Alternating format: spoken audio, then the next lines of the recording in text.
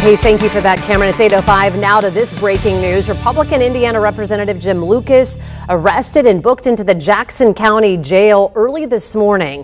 State police say he was arrested after crashing his vehicle on the interstate on 65 just north of Seymour.